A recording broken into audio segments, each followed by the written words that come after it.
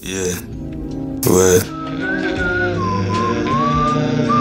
me start it off, let me start it off, let me start it off, let me start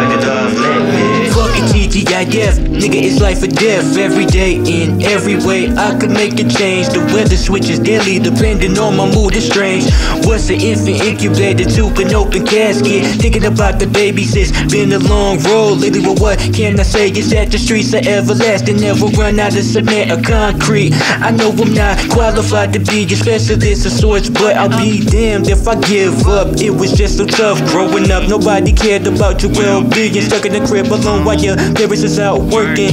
Fending for yourself and never ask for help. Don't want no introductions. I want no interruptions. This is therapeutic and fairly the real ones is muted. No ideas, no speaking, no showboating, no authenticity. Bliss within my mental of some length. Finally.